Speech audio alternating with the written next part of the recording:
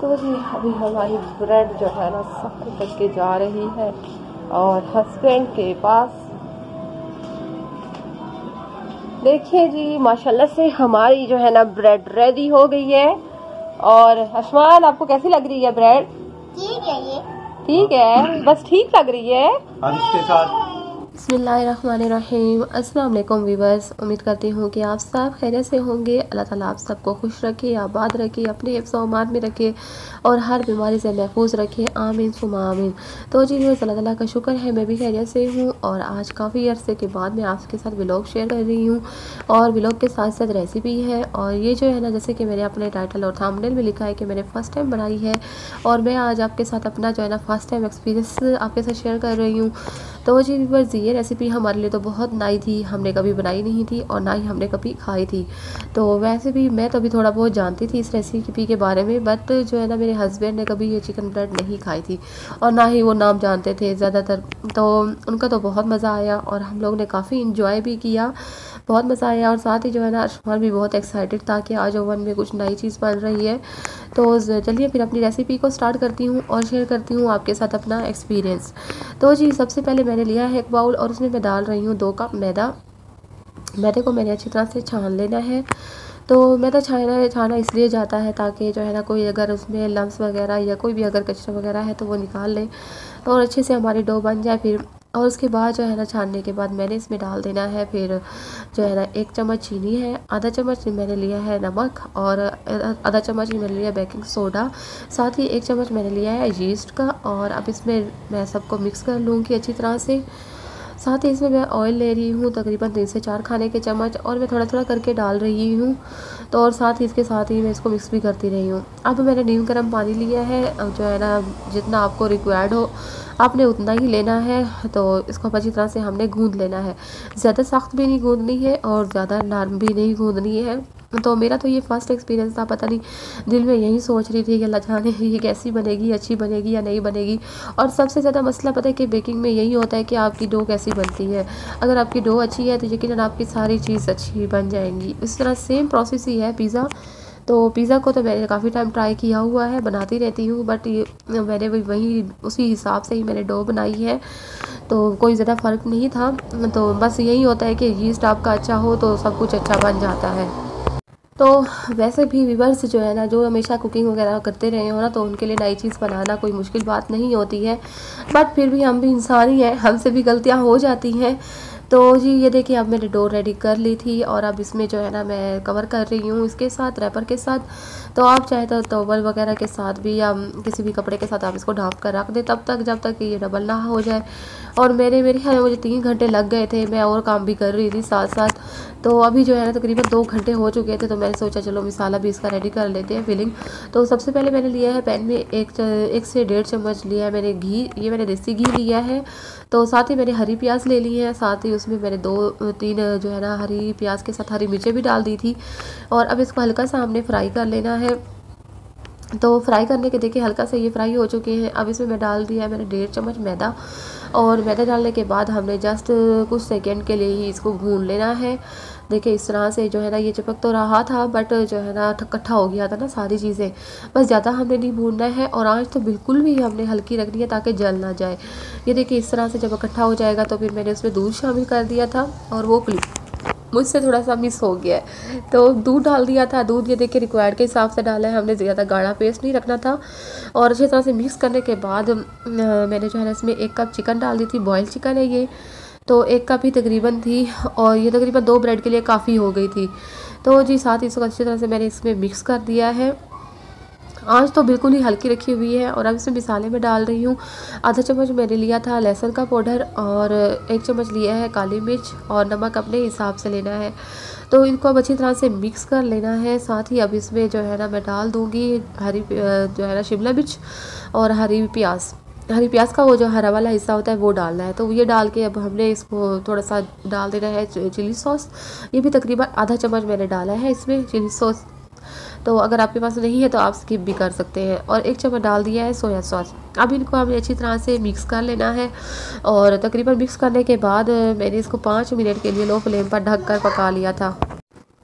अभी जो है ना, हम डो की तरफ़ आ गए हैं और ये देखिए, माशाल्लाह से बहुत अच्छी डो बनी हुई है। डबल से भी डबल हो गई है। और इस स्टेज पे जो है ना, मैं आपसे एक बात शेयर करती हूँ कि मुझे बड़ा मज़ा आता है कि जब जो है ना, मेरी डो अच्छी सी फूली हुई हो। क्योंकि मैंने आपको बताया कि मैं ज़्यादा एक्सपर्ट नहीं हूँ कुकिंग कुकिंग खाना बनाने की तो हूँ माशाला से वो बहुत अच्छा बनाती हूँ। बट ये जो बेकिंग वगैरह होती है ना तो इसमें मुझे ज़्यादा एक्सपीरियंस नहीं है। लेकिन अगर कुछ भी ट्राई करती हूँ तो माशाला से अच्छी बन जाती है। और हमारे हम हाउस वाइफ्स के लिए ये मुश्किल भी नहीं है वैसे नई चीज़ ट्राई करना। क्योंकि उन उन लोगों को टेंशन होती है जो कभी खाना वगैरह बनाते नहीं है या जिनको चीज़ों वगैरह का ज़्यादा नहीं पता है फ़र्स्ट टाइम बना रहे हो तो उनको डर लगा रहता है कि हमारी कैसी बनेगी। बट मुझे क्योंकि एक्सपीरियंस था बड़ा, मैं जो है ना पिज़्ज़ा वगैरह भी तो बनाती रहती हूँ। और सेम प्रोसेस ही डो का है, ज़्यादा उसमें कोई फ़र्क नहीं है। तो मैंने पिज़्ज़ा की डो भी इसी तरह से ही बनाती हूँ। बट ये क्योंकि फ़र्स्ट टाइम था ना, इसलिए थोड़ी थोड़ी घबराहट मुझे भी हो रही थी। पर बहरहाल बहुत अच्छा बना था। और ये देखिए, इस तरह से मैंने डो को नीट भी कर लिया था। और नीट करने के बाद मैंने इनको, इसको दो में डिवाइड कर लिया है। ये मैं दो डिफरेंट साइज़ जो है ना डिफरेंट शेप की बना रही हूँ ब्रेड तो पेड़ा बनाने के बाद इसको मैंने बेल लेना है। बेलना ज़्यादा मैंने बड़ा नहीं है। मतलब गोल नहीं बेलना है। थोड़ा सा हमने इसको लंबा रखना है ताकि ब्रेड बनानी है ना, हमने तो अच्छी सी उसकी शेप बन जाए। तो ये देखिए इस तरह से मैंने इसको बेल लिया है और साथ में ज़रा किना, किनारों को कुछ ज़्यादा ही दूँ साइड वाले। तो अब इसमें जो है ना मैं रख रही हूँ वो जो हमने चिकन वाला मिक्सचर बनाया था अब हमने उसके सेंटर में रख देना है। जी इस तरह से हमने इसको सेंटर में पूरा लंबा रख लेना है और जी बिल्कुल अच्छी सी। ये देखिए, इस तरह से थोड़ा सा फैला लेना है किनारे, क्योंकि थोड़ा सा मैंने इसको पतला कर दिया था। अब हमने हल्के से दरमियान में कट लगा रहे हो। पूरा नहीं लगाना है, हल्का सा लगाना है दरमियान में कट, सिर्फ़ एक साइड से लगाना है। और सबसे पहले जो है ना, ये जो बगैर कट वाला साइड था, हमने उसको ऊपर रख देना है मिक्सचर के। और हल्का हल्का सा पानी भी लगा लेना है, ताकि हमारी ब्रेड ओपन ना हो, वो अच्छी तरह से पैक हो जाए। ये देखिए, इस तरह से हमने पूरा कवर कर लेना है। और अब जो कट वाला साइड था, वो इसके ऊपर लगा लेना है।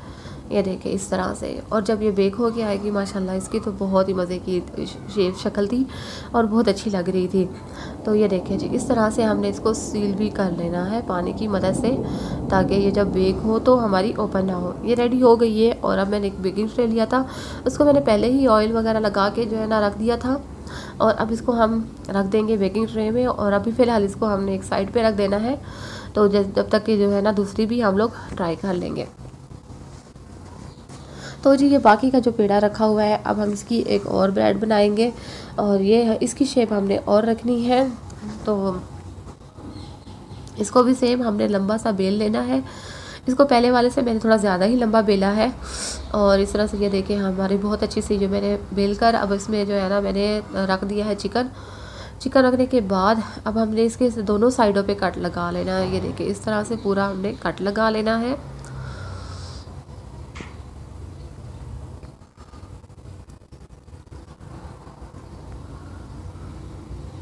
ये देखिए, दोनों साइड से कट लगाने के बाद अब हमने इसको अच्छी तरह से सेट कर लेना है। ये देखिए, पहले एक साइड से लेना है।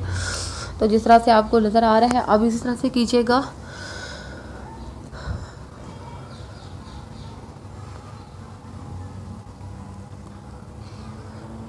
माशाल्लाह से हर चीज़ हमारी अच्छी जा रही है और अल्हम्दुलिल्लाह ये बहुत अच्छे से सेट हो गई है।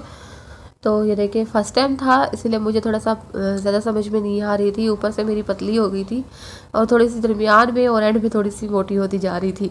तो एक अंडा लिया है, उसके बाद मैंने उसमें डाल दिया थोड़ा सा नमक और इसको अच्छी तरह से बीट कर लिया है। ये सॉरी ये अंडे की जो है ना, सिर्फ़ जर्दी थी, सफ़ेदी नहीं थी। हमने सिर्फ़ जर्दी का यूज़ करना है। अब एक बुरश की मदद से इसके ऊपर हमने लगा लेना है। ये देखिए, इस तरह से जो है ना, हमने इसको लगा लेना है अंडा।